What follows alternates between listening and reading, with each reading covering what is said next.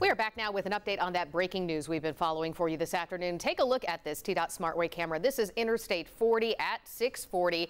On the left side of your screen, those 40 eastbound lanes, they were fully closed a bit earlier because of a pole, a very large pole that went across all of those lanes. But as you can see, traffic is now moving by with at least one, maybe two lanes open now. So once traffic sort of gets back up and going, you'll see that. And westbound on the right side of your screen, moving a little slowly, but also able to get by because that pole was so long and extensive that it was reaching into the westbound lanes as well. As you can see here, this was the removal process that happened a little while ago. A very large pole because of a tractor trailer crash that again went through all all lanes or over all lanes of Interstate 40 in the eastbound lanes. But as you saw there from that live look, the pole has since been removed. And we were talking with Cassie Nall about this a little earlier, and she was warning that hopefully they would get that removed pretty quickly because lightning was set to move right through that area in just minutes from when we were talking about it. So